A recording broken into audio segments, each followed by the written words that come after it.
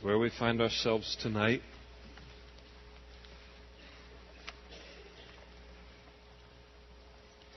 The Apostle Paul has been used by the Lord to birth the church there in the city of Corinth, and not only to birth it, but to invest 18 months, 18 very precious months of his life and his public ministry into the establishing of, of a church there in Corinth.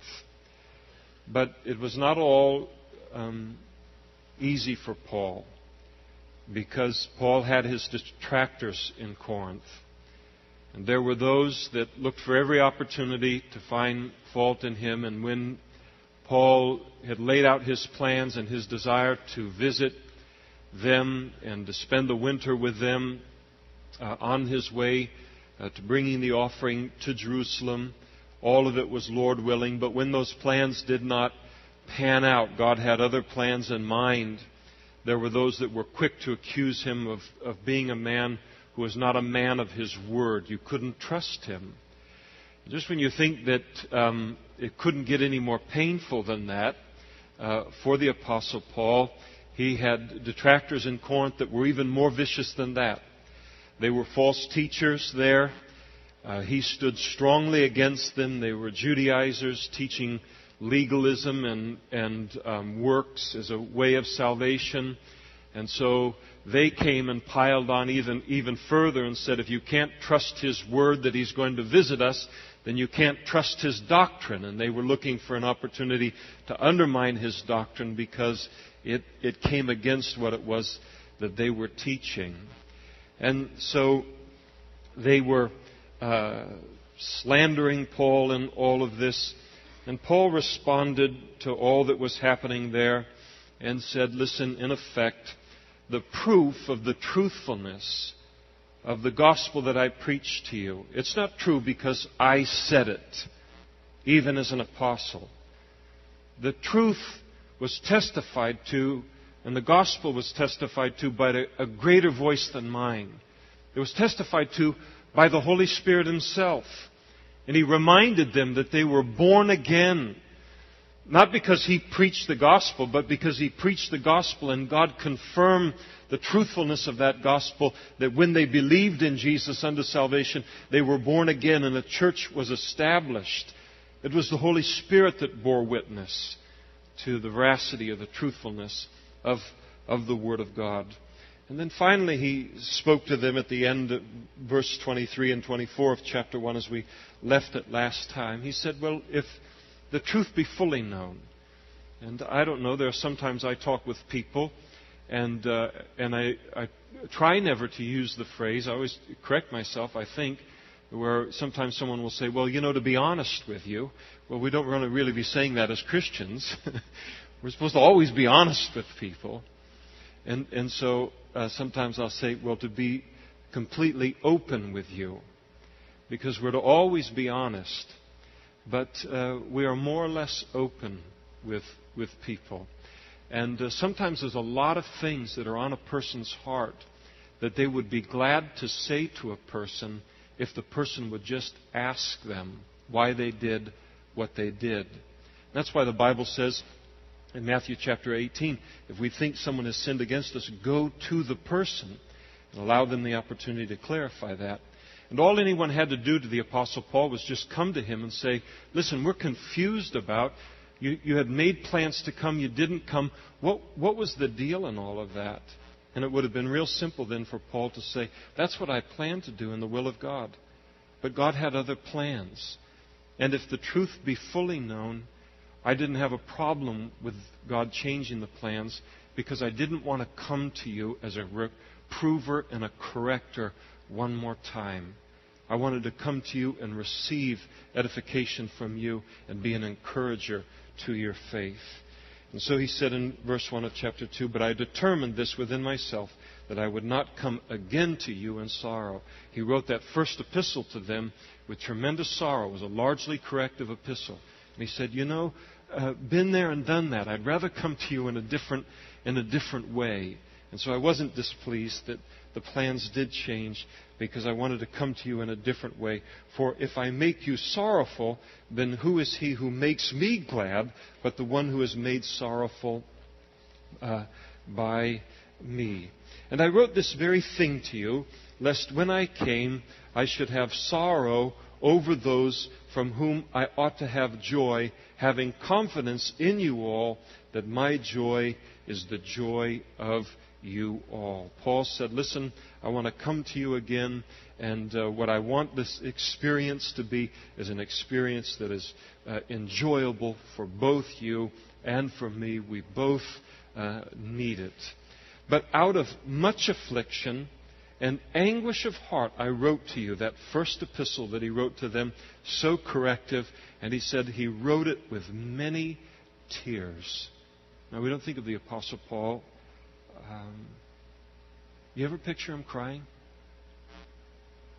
I mean, I picture him getting up from the stoning and walking back into the city. And I picture him preaching boldly in the synagogues, reasoning from the Scriptures and persuading from the Scriptures concerning the things of the Lord. But it, it takes a passage like this for me to stop and to think about the Apostle Paul weeping, to see him crying. And, and he speaks not only of weeping, but of many tears. You know, sometimes I, I think about um, if God ever took me out of being a pastor and then I became a part of a local fellowship, some, some of the things that I would then take, try to take into that local fellowship as a, um, a member of a body away from being one of the pastors in the church. And one of the things that I, I would do, I would, I would hope by the grace of God, is that I would support leaders. And I'm not talking about any internal thing here at all, but, but in this body or wherever God has you fellowshipping on Sunday mornings or wherever you're going to end up fellowshipping, or I am for the rest of our lives, to stop and really think about the price that leaders pay to address problems in the body of Christ. And the Apostle Paul here, it was no easy thing to write that first epistle. Um, so often we don't really have it, but we think we have it. As a, as a you know, kind of a regular member of the body of Christ or whatever, we see a problem, we see disobedience, we see something that needs attention, and we think we have the luxury of being able to look at that and say, I'm not getting near that, I'm not going to touch it with a 10 foot pole. It is like a cop responding to a uh, domestic violence issue. Um, the whole thing's going to blow up on him. Nobody's, everybody's going to lose here on this thing. Anybody that touches it. But, but the pastor, the leader, he, he does not have that luxury of ignoring those issues. He must deal with those things. And I don't know of a, and I, I'm not the old wise owl, but I've been doing what God has called me to do for 18 years. And I know a lot of pastors in this community, and I know a lot of Calvary Chapel pastors, really from all over the world. A lot of, a lot of ministers, and I don't know a single one that enjoys disciplining in the body of Christ and correcting people in the body of Christ.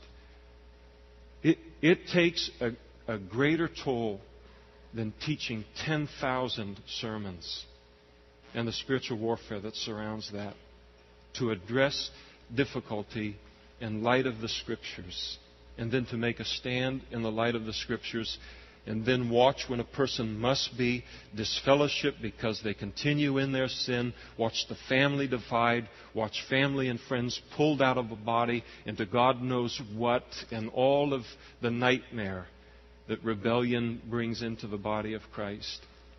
And he has no ability to escape that. And so pray for the rest of your lives and your ministries Pray for those that don't have the so called luxury, though none of us have that luxury, of, of being to, able to ignore those things.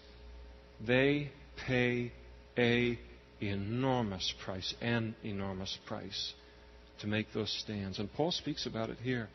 Talks about much affliction, anguish of heart. I wrote to you with many tears not that you should be grieved, but that you might know the love which I have so abundantly toward you. What was the motive of the letter that he wrote to them? I mean, he said some really tough things to them. He said, You know, the only reason I wrote that letter was love. And only love will write a letter like that. because self love, love for the other person, self love will never write it. Self love is too into it's too into self preservation. It looks at it and says, There's no way I'm getting in the middle of that. But when a person loves another person and says, No, I cannot sit on my hands and watch them destroy themselves and the lives of other people, I have to get involved, whatever the price is going to be paid. I'll tell you, it takes love to enter into those situations. And Paul said, That was my motive the love which I have so abundantly for you. But if anyone has caused grief, he has not grieved me, but all of you to some extent, not to be too severe. Now, Paul returns to a disciplinary issue that he spoke about in the book of 1 Corinthians, chapter 5, where there was a man who attended the church at Corinth, and he was sleeping uh, with his stepmother, his father's wife engaged in actually engaged in uh, actively engaged in sexual immorality and the leadership was so weak in Corinth that not only did they not address it but they they boasted in how liberal they were to allow such things to happen and and so so Paul returns now to this situation. Paul had said at that time, he said, If you won't judge it, I will judge it from a distance. Put him out. Don't you know that a little leaven leavens the whole lump? Don't let him enjoy the blessings of the body of Christ and then be camped in sin in the world. Remove the blessings of fellowship with God's people so that he will then long for those blessings greater than he longs to satisfy the lusts of his flesh, and he might repent and he might return to God. You know, the beautiful thing happened is, is the church at Corinth, they obeyed what Paul commanded them to do. And the interesting thing is, he turned back to God. You know the great things about being a Christian? Is that once we really come to know Him, and He comes into our life, and we begin to walk with Him, we begin to, in the word of the psalmist, taste and see that the Lord is good. When a person's really been born again, we've been forever spoiled for the world. God will never, ever let us be successful in sin again. We will never enjoy it as much as we once enjoyed it. And it was only pleasurable for a season. And God was working on this guy's heart. And so he repents. But remember, Paul had spoken to them and said, Listen, I judge from a distance. Put him out. So now it's time to restore him back into fellowship. And they probably want to do that, but they don't understand Paul's mind on it. So they say, well, you know, we, it looks like repentance. He ought to be brought back into fellowship and all, but we don't want to know, do anything without knowing Paul's mind on it. And so Paul comes in and writes this and says, listen, there's repentance. I'm with you. It doesn't offend me. Our hearts are united together. Uh, let's bring him back into fellowship. He said, This punishment which was inflicted by the majority is sufficient for such a man. So they had followed Paul's command to disfellowship him. They had done it uh, as a church. He said, So that, on the contrary, you ought rather to forgive and comfort him, lest perhaps such a one be swallowed up with too much sorrow. So when there is that church discipline has to be enacted, or, or an excommunication needs to occur, and thankfully it is a very rare um, experience. It has been for us and, and all. Once there is, as apparently happened in this man's life, there was a confession of his sin. He repented of his sin.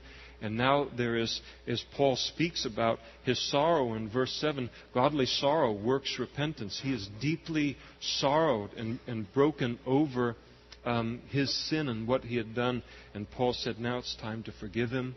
It's time to comfort him so that he isn't swallowed up with too much sorrow.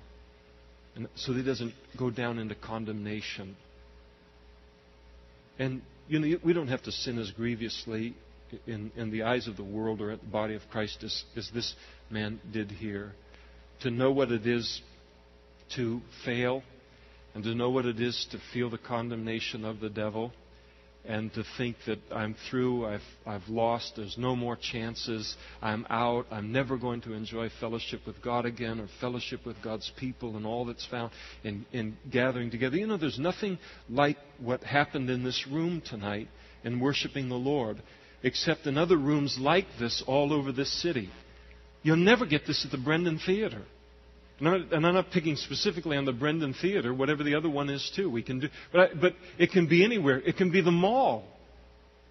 No one, what happens where two or more are gathered in the name of the Lord, and, and where there's a group of people come together to worship, that doesn't happen any place else. And it's a blessing, and to, and to, to lose it is to miss it when God's working in our life.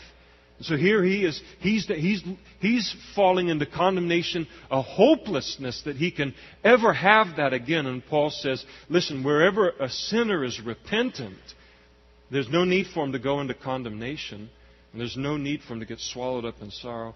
Now's the time to forgive and to comfort him. When any of us sins and we fall short, can you change your past? You can't change your past any more than I can change my past. So, what's the best that I can bring to people that I've sinned against? I, I can bring them the confession of my sin, asking for their forgiveness, and let them see a repentant life, a life that's turned back to the things of God, and then to receive from them their forgiveness and their comfort. And that's what we're to extend to people when there is that brokenness and there is that repentance, to say, Yes, I forgive you now, and then to comfort him bring him back into the fold. And therefore, he said, I urge you, reaffirm your love to him. For to this end I also wrote that I might put you to the test whether you are obedient in all things. So Paul kind of he wrote that and he said, Well, I don't know if they're going to obey in Corinth on what I tell them to do there. This is a hard thing to do, and to their credit, uh, they obeyed uh, the Lord in all of this. Now, whom you forgive anything, I also forgive. I join with you in this forgiveness. For if indeed I have forgiven anything, I have forgiven that one for your sakes in the presence of Christ. Lest Satan should take advantage of us, for we are not ignorant of his devices. So Paul's talking about two devices of the enemy against the body of Christ that we're not to be ignorant of. And, and they were two things. One device the church at Corinth had already fallen, fallen prey to. And the second device, he's trying to make sure that they don't fall uh, prey to it here. So in this uh, 2 Corinthians chapter 2, the two devices, number one is sin in the camp. And, and so uh, remember Achan in the book of Joshua, where they went in and they took the city of Jericho, and God spoke to the children of Israel and said, Listen, everything in Jericho is mine. It's the first fruits. Nobody takes any of the spoil, it's mine. And there was a guy by the name of Achan, and he was so appropriately named by the time the story got uh, un- unfolded. He ends up stoned. But, but he, he took uh, 200 you know, uh, pieces of silver. He took a wedge of gold and a Babylonian garment. He took what belonged to God. And then when they went to the second city in the conquest and the taking of the land. They went to a city called Ai, much smaller city, and they attacked that city, and they were defeated, and 36 people died. And, and all of a sudden, uh, Joshua and the children of Israel, the leaders, they fall on their face and they say, Oh no, God, you know, what's happening here? And we're going to be defeated by our, our enemies if they, if word gets out, you know, that we've, we've been defeated by such a small city like Ai and all. And, and so God spoke to Joshua and he said, Listen, stand up. Now, there's a time to get on your face and, and, and pray and, and all those things, but this is a different kind of situation. There's sin in the camp. And, and, he, and he gave Joshua this whole means by which to identify the person that had brought sin among God's people. And, and, and, one of the great lessons of that whole incident in concerning Achan and Ai was it was just one man that stole. In the whole camp, we're talking about, you know, maybe three million uh, that, uh, in number of the children of Israel. One man stole from God, but 36 people died over it.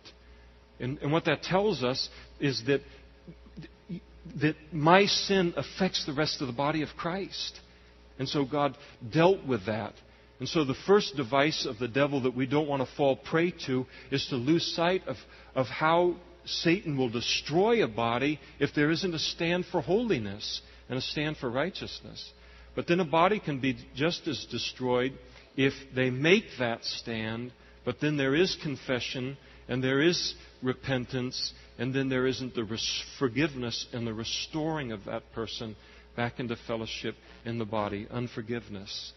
And so the, the two devices, the importance of uh, his device to introduce unholiness into the body and then uh, to uh, cause us to be unforgiving toward those that have repented. And so hopefully tonight we're all on a, uh, you know, the big uh, blackboard of our heart is all erased in terms of unforgiveness toward those that have confessed their sin and repented and, and, and all, so that we don't uh, fall prey to one of the great devices of the enemy and then go into bitterness. And man, once it goes into bitterness, you know, against a person, the Bible says then many will be defiled, and many always are defiled because we start to spill forth to everyone else, and then it becomes a big mess.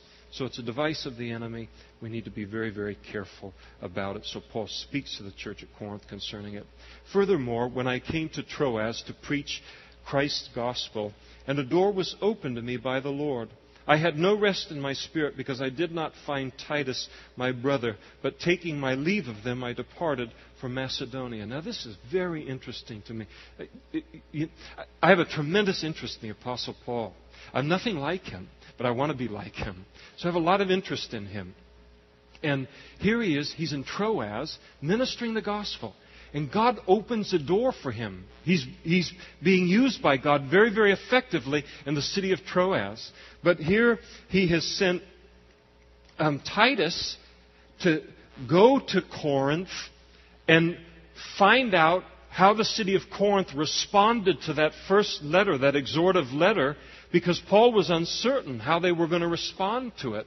And, and Titus didn't come back with word, any word and say, yeah, they, they listened to the letter, they received it, they were teachable, they were humble, and uh, they're still on board with everything. They still love you and all of that kind of stuff. Or, no, they hate your guts and, boy, don't ever go to Corinth again, as you might not get out alive. Paul didn't know how they were going to receive the letter. And, and this, I mean, this this shows, shows me Paul's heart. He's, he's not a machine. He's not a preaching machine. He's not an apologetic machine. He's not an apostle machine. He's a human being. And what people think of him and how what he teaches and what he says is received is important to him. It's not what is supremely important to him but he wants to be liked by people and accepted by people as much as the next person. And so he leaves this place, even of effective ministry, to go into Macedonia to try and meet up with Titus and say, What's my relationship now with the city of uh, the church in Corinth? Again, his love for these people and, and for um, the work of God in that city. And when he heard from Titus that Paul listened, um, they got it. You did what God told you to do in writing that letter, and then God covered the other end and ministered that it was truth to them. So it was a good job all the way around. And when Paul finally heard that, he says, Now thanks be to God who always leads us to triumph in Christ. Isn't that the truth? But don't we worry in the meantime? But when we're just obedient to the Lord and what He tells us to do, though it looks so uncertain for a while in terms of how it's going to play out, Paul kind of reveals what he learns from the circumstance. And what he learned from the circumstance is that, listen, as we just obey the Lord, do what he tells us to do, God will always lead us in triumph in Christ. And through us, he diffuses the fragrance of his knowledge in every place for we are to God the fragrance of Christ among those who are being saved and among those who are perishing. To the one we are the aroma of death leading to death, and to the other we are the aroma of life leading to life. Every single one of us as Christians we have a fragrance. Not talking about a physical fragrance, praise the Lord, but we're talking about a spiritual fragrance. There's a fragrance that is on our life, and it's called Chanel number five. No, it isn't. It's called uh, it's called Christ likeness. It's called Christ likeness. And the interesting thing, you, if you've ever had this happen, you ever been with somebody that has a very, very strong fragrance on them, and you spend some time, uh, you know, sometimes I'll, I'll counsel and do counseling, and a woman will come in and she's wearing very, very strong fragrance. And, uh, you know, by the time the session is over and everything, even with the air going and the window open and the whole thing, you know, you come out of the room and you smell like whatever the fragrances are, you know, you have, um, uh, yeah, and that, that's why you keep all the shades up when you're counseling and all the things and everything, so the accountability. But, but if you have, you know, like Aunt B or something like that, you know, and she wears a fragrance and, and you hug her, you know, and you hang around and that kind of thing and you walk away from her and you've got that fragrance on her. Because when we're close to one another, we take on that fragrance. Well, you know, Christ has a fragrance. He wears a spiritual fragrance. And when we spend time with Him, that fragrance is left on us.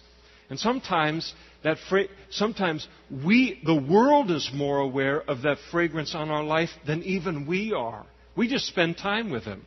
You remember when when Mary of Bethany, six days before Jesus was going to be crucified, and and um, uh, as he's he's there with Mary and Martha and Lazarus in the house there in Bethany and everything. And she takes that, that uh, box of valuable perfume, she breaks it open, she anoints his feet with this fragrant ointment, and then, uh, having anointed uh, his feet, she then dries his feet with her hair, and it says the whole house was filled with the fragrance.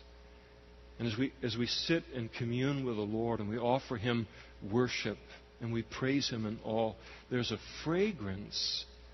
As, as, we offer that worship, there's a fragrance that comes back on our life and it fills the whole house. And then we leave our quiet time with the Lord in the morning or whatever it might be, and we go out in the world.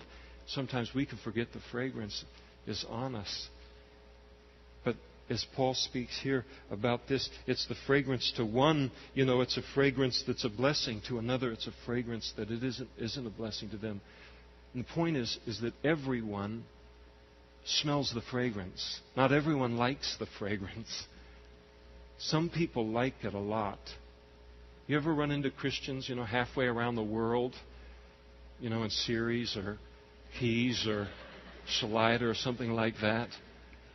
Or you run into a Christian anywhere and you smell the fragrance. I mean, you can, you can see them in an airport. You can see them in Raley's. You can you say, I know that's a believer. You ever sit in a restaurant and you watch them pray for their meal? You watch a family stop and give thanks. They know where that food came from and all. You say, man, there's a fragrance on that life, and it's a blessing. And then there are others, though, they watch you and I live for the Lord, and it's a stench to them. They don't like the smell, but they notice the smell. And, but it, it, that's a reflection of where they are as it, as it relates to the Lord. So the fragrance, it gets noticed. And Paul realized, listen, you know, there's this fragrance on all of our lives. And Paul then said, and who is sufficient for these things? And, and as Paul looks at it, he doesn't say, Oh, poor me, you know, I have to wear this fragrance and it gets me in so much trouble in all the synagogues and in all the cities. You know, you can get stoned wearing a you know, fragrance like this and beaten quite frequently and, uh, you know, almost torn limb to limb in Ephesus. And he, does, he looks at it and says, It is the privilege of my life to wear this fragrance. You know why? Because Paul had worn other fragrances. Jesus said, He who's forgiven much loves much. And when you've worn other fragrances in your life before you come to know the Lord, then all the junk that happens, and all the persecution, all the rejection, all the things that happen as a result of wearing that fragrance, you look at it and you say, Oh no, this is my burden to bear. And you just say, Lord, I am so thankful for the privilege to be able to wear this fragrance to take your nature, to take your fragrance from the place at your feet and out into the world every single day. It's an honor. Don't feel sorry for me, Paul is saying. It's an honor and it's a privilege. And who is sufficient for these things? For we are not, as many, peddling the Word of God, but as of sincerity, uh, and but as from God we speak the, in the sight of God in Christ. So there were a lot of people in that time. They were peddling the Word of God, apparently, there in Corinth also. They went into religion for a money making thing. I remember one time years ago, there was a fellow, maybe some of you would recognize his name. He was a televangelist, and all ended up in a tremendous scandal, financial scandal and, and, everything. But he had told his friends when he got out of college, he said, I know the easiest place in the whole world to make money is in religion. And, and he went in and became an evangelist, made money, had homes all over the place, and all this, this, this kind of thing. But that isn't new. People have been gone into religion to make easy money, you know, and to peddle the Word of God and, and make a living off of it and this kind of thing for ages. Paul said, We never peddled. We never did this for money. And, but we spoke the Word of God from sincerity. We spoke the truth to you. And, and we spoke what God told us to speak, and we spoke it in the sight of God. We spoke it as if God was sitting in that home Bible study listening to what we first preached to you there in Corinth. And that was his attitude. He said in chapter 3 Do we begin again to commend ourselves, or do we need, as some others, epistles of condemnation to you or letters of commendation from you? Now, again, there were those in Corinth who were saying, Oh, the Apostle Paul, you know, he didn't walk with Jesus for those three and a half years like, you know, the other apostles did. And he's an apostle, that, but he's self appointed and all of this, uh, this kind of stuff. And so they were, uh, you know, coming against him in this kind of way to such a degree that it, it seems as if they were wanting some kind of letters of recommendation, maybe from the other apostles, that Paul was actually an apostle. And, and, and so Paul said, Listen, do I need a letter of commendation to you? Now, um, in, in those days, because they had a lot of speakers, a lot of teachers and evangelists traveling around, and some were legitimate and some were illegitimate. And so uh, you had some people that were peddling the Word of God. And so, in order to try to filter between who was coming into town and just wanting to uh, get a bite to eat and a room to stay, you know, at the Holiday Inn Express and uh, go on their way uh, in the name of Christ and that kind of thing, they're all in it. They just want to see the world uh, being supported by the body of Christ and uh, and also they get a, a, directory of all the Calvary chapels and just hit them as they go across the United States. And I remember a guy that did that a few years ago, hit us, and and, and the whole deal knew everybody's name and all the. I mean, he knew the whole history. He was he was very uh, very very clever. Got about sixty bucks out of us. That was the last time that. Anyway.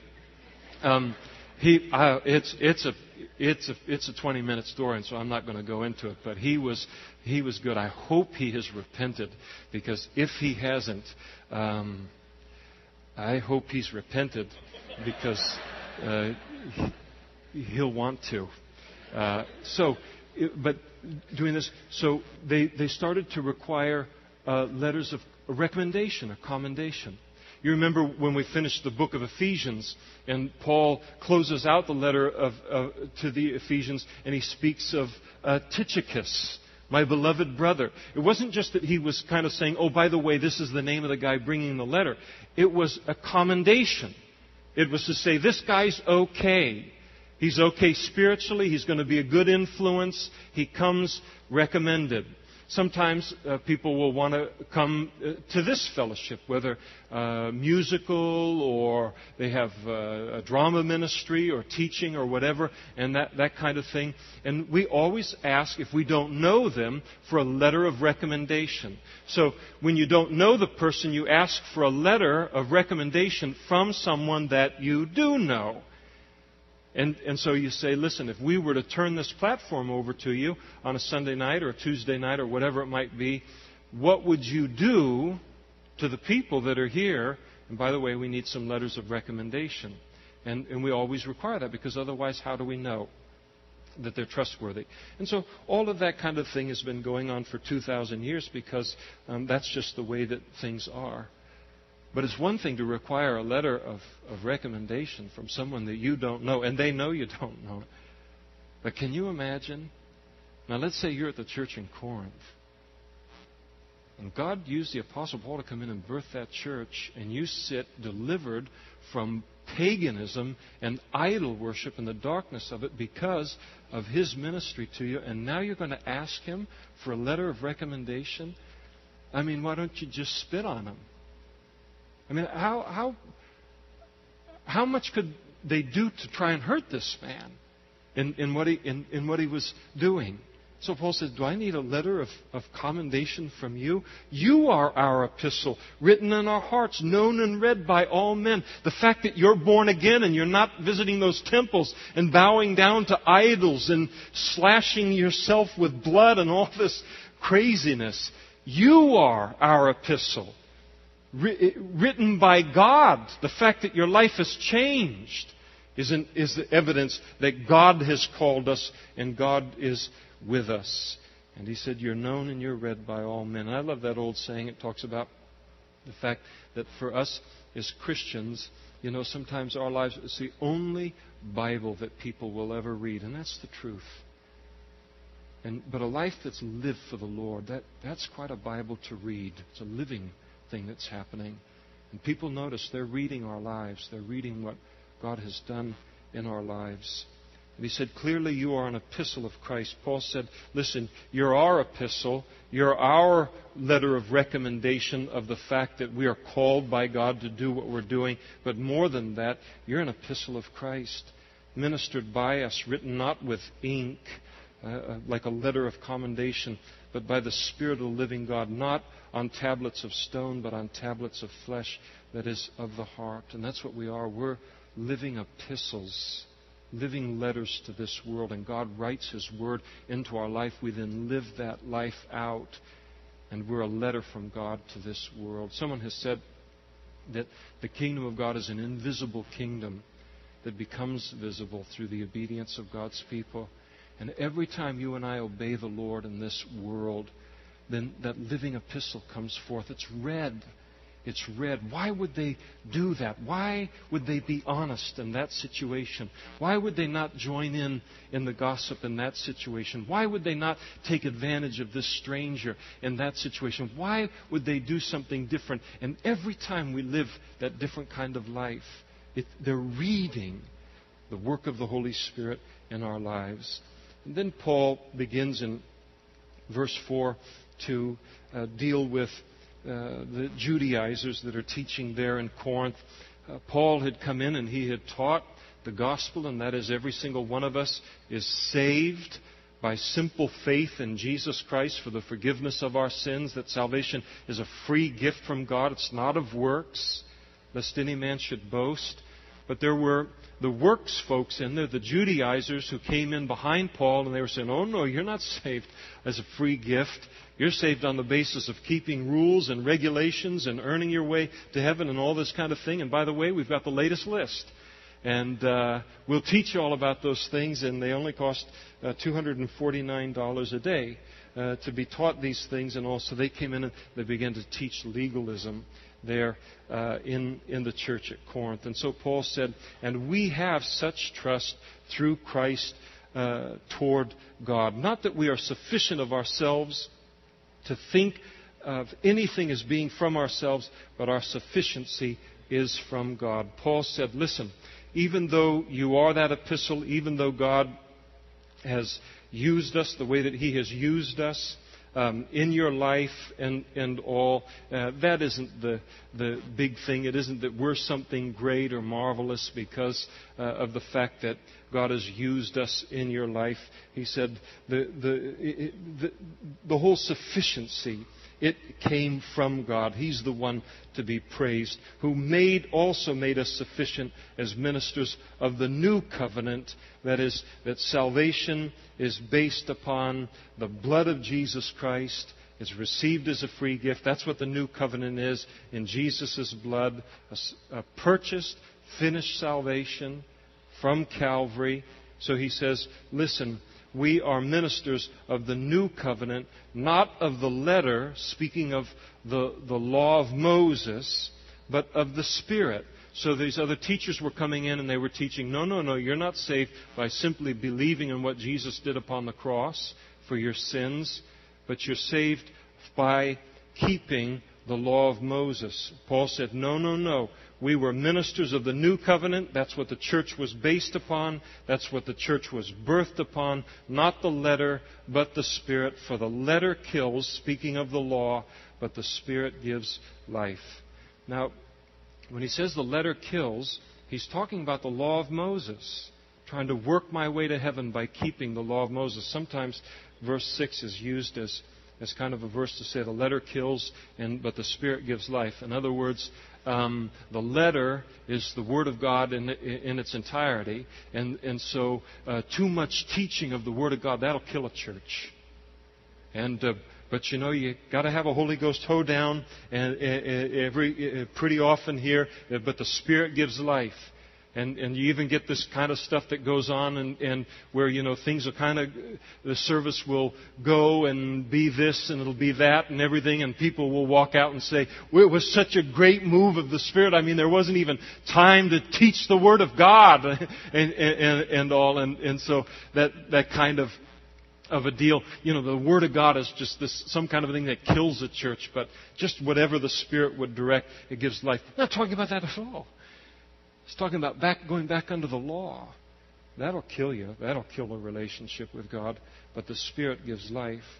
But if the ministry of death, and that's speaking of uh, the law of Moses, written and engraved on stones, was glorious, so that the children of Israel could not look steadily at the face of Moses because of the glory of his countenance, which glory was passing away how will the ministry of the Spirit not be more glorious?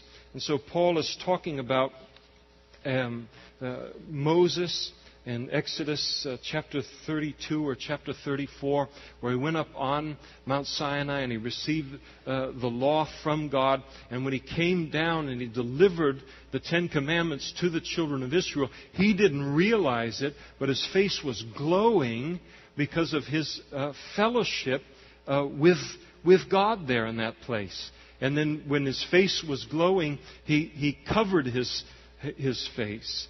And, and, and so here you have the law of Moses uh, that he brought down. His face was just shining uh, with an afterglow, even from the law of Moses. So, what, what Paul is saying here is just because I'm a minister of the new covenant, just because I preach what Jesus came to do, and that is salvation, is on the basis of faith in Christ.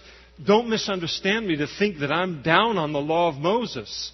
The law of Moses is glorious. It's beautiful. As Paul uh, wrote elsewhere in the New Testament, he said, There's nothing wrong with the law of Moses. If righteousness, a right standing before God could be attained on the basis of works, then it would be on the basis of the law of Moses.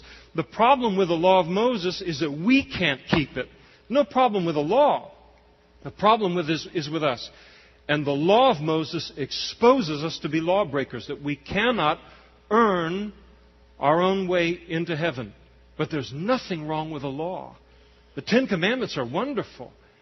Just don't think you can get to heaven on the basis of it. The 613 commands of the Pentateuch, they're all wonderful. You just can't get to heaven on the basis of it because no one can keep them.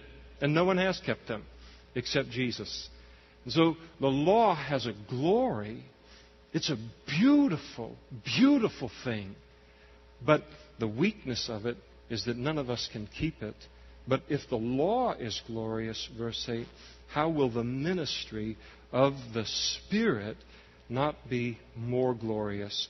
For if the ministry of condemnation and that's the trouble with the law of Moses. It's perfect, it's holy, it's right on, but it exposes us for not being perfect, not being holy, not being righteous. And that's why Paul, when he wrote to the Galatians, he said, The law is a schoolmaster to bring us to Christ. It was given to expose us as sinners and to say to us every time we read it, You are less than perfect. You are less than perfect. You are less than perfect. Your righteousness cannot get you into heaven.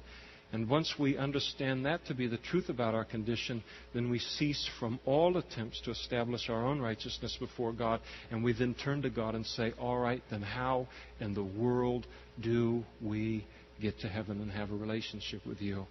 And then the Holy Spirit enters in and leads us to Christ, to the cross, to that free gift of salvation, and then we receive His righteousness put to our account, and now we have a righteousness that matches our need. For if the ministry of condemnation, that is the law of Moses, had glory, and it did, the ministry of righteousness, that's the righteousness that we have in Christ that comes through the gospel, it exceeds much more in glory. For even that which was made glorious had no glory in this respect because of the glory that excels. So Paul is saying to these teachers and to those that are coming under the influence of these false teachers, he's saying, listen, I don't have a beef with the law of Moses. I'm not going to tell you it isn't glorious. What I'm telling you is that there is something that is more glorious, and that is salvation through Jesus. And so the law of Moses has a glory, but compared to the gospel, compared to what Jesus did on the cross for us, it's like comparing a candle to the sun. There's no comparison. So Paul is speaking to them. They're coming in and they're undermining his teaching. They're undermining, they're attempting to undermine their salvation. So Paul comes in and he's, and he's, he's coming against what they're teaching so that people will understand listen, don't trade what is infinitely more glorious for something that is glorious but inferior un- under the influence of these teachers. And he said, For if what is passing away was glorious, what remains is much more glorious. Therefore, since we have such hope, we use great boldness of speech. So they're trying to silence Paul, these false teachers. And they're trying to undermine his voice and they're trying to undermine the message that God had called him to bring to Corinth. And Paul said, You'll, you'll never silence me. You will never silence me. Because I know what it is to be where you are. He was a Pharisee of the Pharisees. He knows all about the glory of the law. But he also knows what it is to experience the glory of salvation in Christ Jesus. And he said, having experienced this and knowing the difference of the glory between the two things, he said, all it does is make me even more bold to declare the superior glory. Unlike Moses, who put a veil over his face so that the children of Israel could not look steadily at the end of what was passing away. And this is something that Paul gives us insight into by the Holy Spirit. When Moses went and he met with God, and then his having a face to face experience with God, there was an afterglow left upon his life. There was a glow upon his life. And that's why when we come together to wait on the Lord and all, and to meet with the Lord face to face, and that, that special meeting that we have every quarter and all, is called an afterglow. It's a time just to meet face to face with the Lord. We want to have that afterglow on our life. And Moses, when he came with the Ten Commandments or he came out of the tabernacle, there would be a glow on his life, and then he would put a veil over his face. Not so that people would not see the glow on his face, but so they would not see the glow fade from his face. To see the transience of that glow, the temporariness of that glow. And what Paul is saying is that the temporariness of that glow on Moses' face that, that ebbed away as, as, he, as he left the presence of God in, in, in, the, in the tabernacle and all. It was a picture of the glory that comes through the law of Moses. It's a wonderful glory but it was never intended to be te- permanent. It was always intended that it would be temporary. And that that glory, as wonderful as it is, would one day give way to the glory that is ours as Christians. To have what God does in our life every single day as a Christian, which he speaks about uh, down in verse 18 when we get to that. But if but their minds, speaking of the minds of the Jews overall, were blinded to the gospel. For until this day, the same veil remains unlifted in the reading of the Old Testament because the veil is taken away in Christ. And the great veil that the average Jewish person has con- concerning Christ that keeps them blinded to the truth that Jesus is their Messiah is self righteousness. That idea that somehow I can keep the law of Moses, and if I do a little bit better, you know, do more good in my life than I do bad, that that'll be acceptable and God will let me into heaven. And there's a complete ignoring of the fact that there are no sacrifices being made for sins. There are no burnt offerings. There are no peace offerings. There are no sin offerings. There are no offerings being offered for sin today. Because there's no temple to offer them at. And why is there no temple? There is no need for a temple. Because the temple of God is now a living temple in, in God's people, in, in the body of Christ. But that veil that remains over their eyes is that idea that somehow the law of Moses was given in order that I might keep the law of Moses and in keeping it enter into heaven. And that is the prevailing view on the part of a Jewish person toward the law of Moses today. And Jesus came along and said that is a complete misunderstanding of the law of Moses. God never gave it as a means to get into heaven. He gave it to expose us as sinners and to cause us to seek a righteousness that only the promised Savior could bring. But there is that veil that's there today over the eyes of, in the understanding of most Jews, but not all Jews. And it doesn't mean that they are without responsibility in this, because he said, because the veil is taken, taken away in Christ. And when a Jew comes to know the Lord and accept Jesus as the Christ, all of a sudden, that veil goes out of the out of the way, and all of a sudden they all, all of a sudden they've got it. And I don't.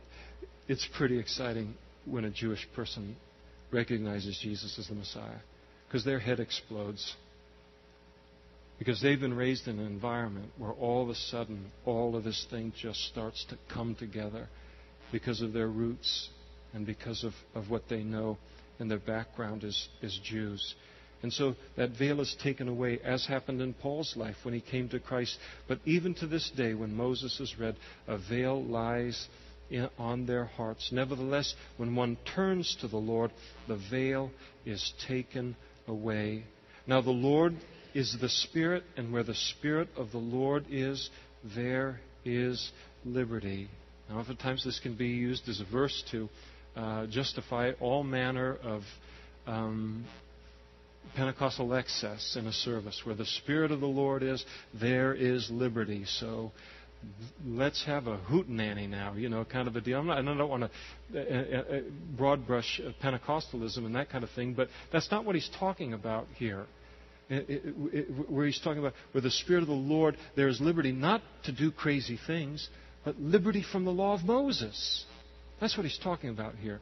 There's liberty from the law of Moses. But not liberty now to sin, but liberty now to obey the voice of the Holy Spirit inside of us.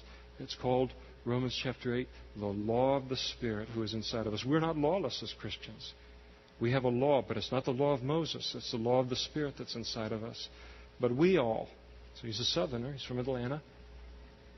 But we all, speaking of Christians, with unveiled face, beholding as in a mirror the glory of the Lord. We know from James that the mirror speaks of the Word of God. As we behold the glory of the Lord, as we study His Word and we read His Word, beholding as in a mirror the glory of the Lord, we're being transformed into the same image, the image of Christ, from glory to glory, just as by the Spirit of the Lord. So, what does Moses do? So, oh, I wish I was Moses. Oh, you don't wish you were Moses. I don't wish I was Moses. God bless Moses, but it was a different covenant. He was faithful to God in that covenant. But he met before God and there was a glory that was left upon his life, but then he had a veil because that glory was fading. We know no veil as a Christian. Every day we worship God with a face that is unveiled, no self righteousness, no law, no this, no that. We have a relationship that is face to face with Him. And when we move out from sitting at His feet in the morning or whenever we sit at His feet, we don't have to worry about that glory fading because we're changed from glory to glory. Isn't it wonderful to be a Christian tonight? You, I mean, aren't you growing so fast in your relationship with the Lord that from one week to the next you don't even know who that person was last week? That's how I feel every single week. Everything works in weeks for me. But that's, that's how I feel. That's the steepness of, of, of the growth. And, and, and so all the changes that are happening, you think, oh, it just, you know, can't be any better than this, can't be any more glorious than this. And then he, you know, you find out he's even got greater light, you know, and he, and he pours, and he changes us into greater and greater and greater Christ likeness. And so it isn't a life of having to hide, oh, we got this great big experience on the mountaintop, but it's going to fade and, and now we're going to look silly. But to live for Christ, it means that every single day as we continue to grow in Him under the ministry of the Holy Spirit, that afterglow is stronger and stronger and stronger on our lives. And all you have to do is just buy my program it's called the Unveiled Face Program, and I'm selling it tonight. We're going to have a little booth out there in the fellowship hall. It's just $450 a week. And you can have glory to glory, you know, uh, experience experience all that's described here, but I know all the secrets to it. And I'll tell you how much of the Bible you got to read every day, how long you got to pray every day, and how many people you got to witness to, and then how nice you need to be to me, and how many nice letters you write to me, and these kinds of things, and all that stuff. It's, it's all in the packet. But you know, you know, one of the most beautiful things, and it's so good. I'm a born legalist. I am a born legalist. I am a born Pharisee. I, I just point me in a direction, and I'll I'll do it till I die. And and times a hundred with God. And so, you know, it, and that's why we're so vulnerable to this whole works trip. And that's why they were in Corinth. They come in and Paul speaks about and, uh, and, and the people move away from grace, they move to works, and they move to all of this because there's a legalist in us. There's someone that wants to, something about us that wants to try and make our salvation even more secure on the basis of our works. But it, it can't be more secure. But the beautiful thing about this whole thing, but we all, with unveiled face, beholding as in a mirror the glory of the Lord, are being. It's passive. It's passive. It's not something you do. It's not something I do. It's something that God does to us as we just keep our eyes on the Lord. Are being transformed into the same image from glory to glory, just as by the Spirit of the Lord. He does it. He does it in our lives. And so we'll stop there tonight and pick it up, Lord willing, in chapter 4 next week.